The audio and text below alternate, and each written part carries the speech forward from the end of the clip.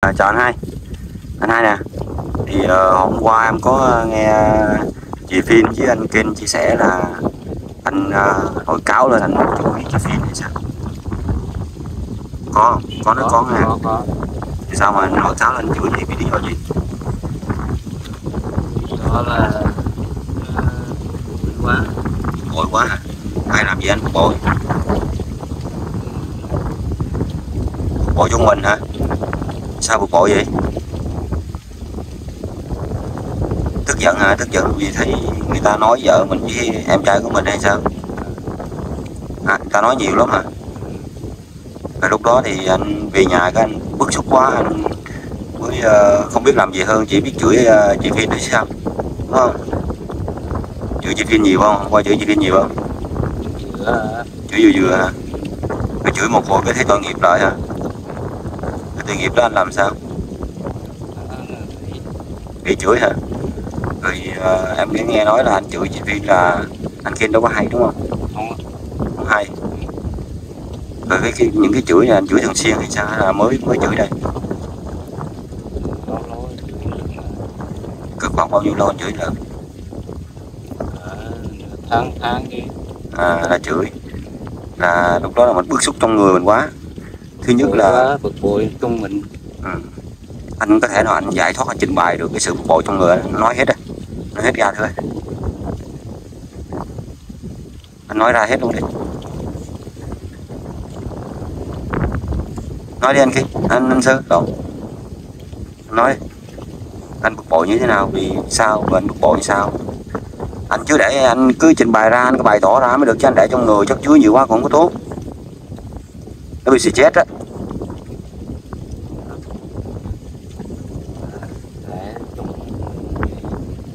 Để tha để trong mình hả? Không nói ra. Có bao giờ anh tâm sự với ờ, chị Phiên về vấn đề là nội chất chứa trong người anh không? Cũng là tâm sự và anh. tâm sự sao? Tâm sự sao với chị Phiên tâm sự sao? Đó chị Phiên tâm sự sao? Tâm sự nói nói sao? Cũng là lâu lâu cũng vô chung nhau vợ con đó. Ừ, anh nói sao? Anh nói với chị Phiên sao? Nói những nỗi buồn mà trong người anh anh nói sao với chị Phiên để chị Phiên nghe? Có nói không? Chị nó cũng không nói tôi có gì. Ừ. thưa cô chú anh chị thì anh sơ thì à, không gần tiếng Việt nên, nên cũng muốn nói dữ lắm nhưng mà không thể nào để nói được. Bây giờ anh nói tiếng Khmer luôn đi anh nói tiếng Khmer luôn là tại vì em cũng hiểu mà. Rồi để em phải em phiên dịch lại cho cô chú anh chị hiểu. Thế là bây giờ em nói tiếng Khmer rồi nói tiếng Khmer luôn ha anh, anh, anh sơ ha. Bon uh, chị chinh o về nồng chất bon men rương tâm tro bon mình dị nó bon gì chinh o đó. Cái cá nó dương như đích ra này dương là này tục áo nó cuốn nó à này dương bội nó cuốn nắng nó chất đó. Ừ cái này bực bội luôn hay nhung chất.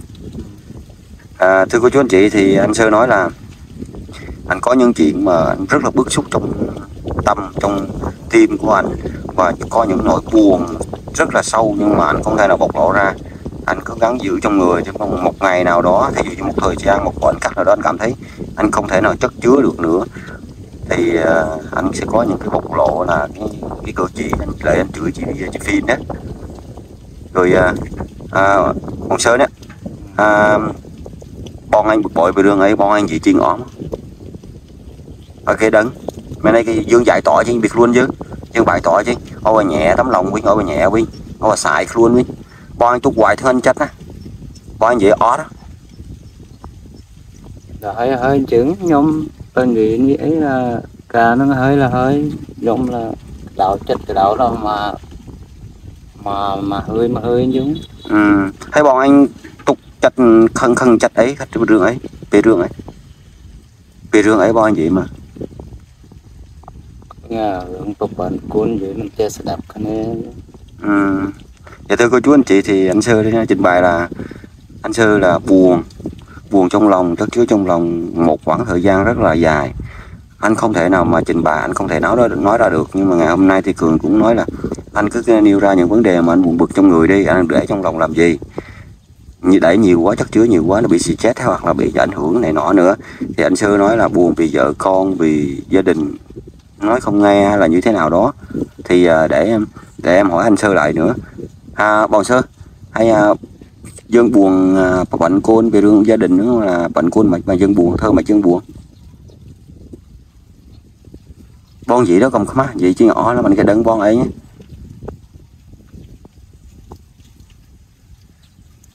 Nhà tên gì tên trưởng men gì ấy đấy.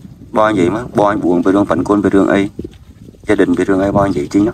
Chị gọi xài cái luôn. Còn cuốn nhóm chế tên để chế trứng men thấy. Ừ. Hay bệnh côn thơ ở bon anh buồn. Thơ ấy thơ ca nghe ấy mà bon anh buồn. Bon gì ba này gì đâu gì ó đó. Không khai ấy không yên không á gì ó Thí dụ bệnh thương chạy bon ở thơ ơi bon anh buồn về đường luôn hay côn cháu thơ ơi bon anh buồn về đường đi ấy nhúng hay hoặc là buồn thơ ơi bon anh buồn về đường xảy xảy nó bon gì chứ? Ồ xài luôn chưa nhóm á bon anh chưa nhóm gì chứ ngồi xài luôn rồi chế tên gì? Tên trưởng trứng hơi hơi. Thì à, buồn là bọn anh buồn chọn á. Nhưng mà bọn anh chỉ chính là chỉ chính bản mình đừng biết xong đấy dương chị thôi. Là thưa cô chú anh chị thì à, anh sơ anh nói là buồn thì anh buồn rất là nhiều. Nhiều cái công việc, nhiều cái công chuyện để cho anh buồn, về gia đình, về vợ con, về em út. Nhưng mà anh không thể nào nói được, bộc lộ ra được, nên anh không có thể nói được. Nếu mà anh nói ra thì anh sẽ bật khóc. Vì chắc chứa trong người anh rất là nhiều những nỗi buồn, những nỗi ờ, nói chung là không thể nào mà nói được. Chỉ có anh sơ là trình bày được thôi, nhưng mà anh sơ không không trình bày được. Vì anh sơ không muốn trình bày vì nỗi buồn của mình san sẻ ra để cho người ta biết dạ là như thế này như thế nọ đó. Thì ờ, cô chú anh chị cũng thông cảm. Về anh sơ nè thì hàng ngày thì mình vẫn là công việc của mình là vẫn trong gia đình. Mà sao mà nói mà cái nước mắt anh gưng gưng vậy? Anh muốn khóc hay sao vậy anh sơ? Không khóc gì đó là tôi nghĩ vậy hả? Sao thấy em thấy anh gưng gưng gưng muốn khóc có một ngày nào đó, thí dụ như mà chị Phiên không có ở nhà anh sơ rồi anh nằm một mình, rồi anh cảm thấy anh buồn quá, rồi anh bật khóc không? có không?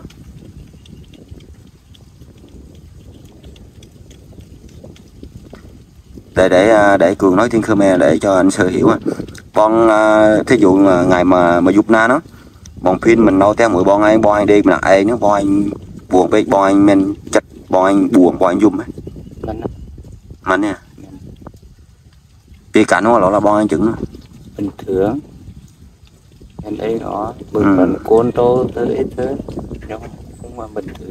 Thì cả nó đó lẩu hay bị cái cầm đó cái à, cái à, bọn phim mỗi bọn kia mà toàn chụp này nó bọn anh mình mình là thứ ba thứ tu hay bọn bọn phim này cũng mà quay theo vậy mình đây. Dạ. hắn cũng đi khăn cái này về đường người ta sắm bánh đó khẳng à hướng à lấy vô mình chưa chặt ra lấy của xa nó té chưa mình chưa của sáng ta mình chưa phải cô nữa Dạ. ừ.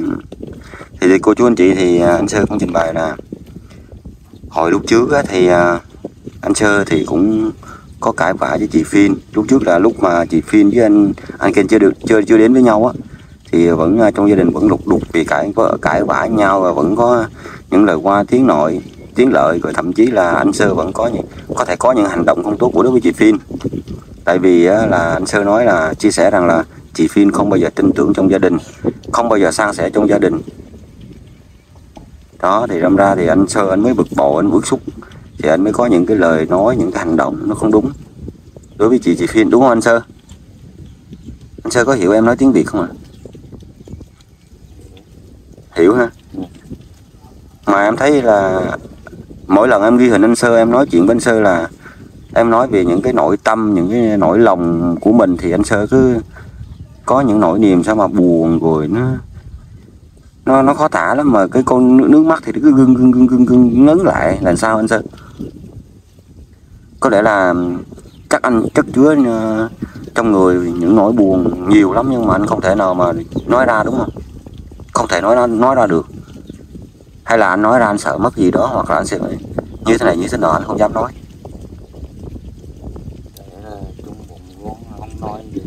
để trong bụng tức là để trong tâm để trong người luôn không nói ra luôn ha nếu mà anh không nói ra là làm sao người ta biết anh đang buồn vì vấn đề gì mà người ta trình bày người ta giải thích với anh rồi nhiều khi anh buồn người ta anh không nói ra làm sao người ta biết anh người ta làm sai vấn đề đó mà để là người ta sửa chữa anh phải nói ra người ta để người ta biết người ta sai để người ta sửa anh không nói người ta đâu có biết người ta sai.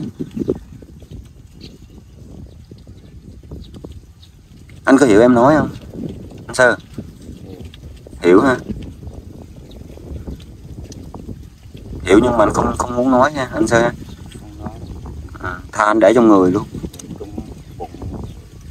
Rồi bây giờ em nói anh sơ như nè thí dụ như em cũng không có ép buộc anh làm gì thì những nỗi buồn hay là những nỗi ức ức của anh trong người anh á thì anh cũng lộ ra.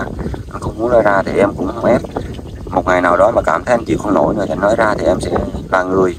Em đây em đây sẽ là người mà để cho anh tâm sự. Anh sơ ha. Thì thôi em cũng uh, chào anh sơ rất là nhiều. Cảm ơn anh sơ nha. Chào anh sơ.